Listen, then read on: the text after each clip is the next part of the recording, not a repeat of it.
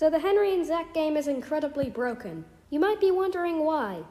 Well, it's still in development, so that's all. That's pretty much the main reason.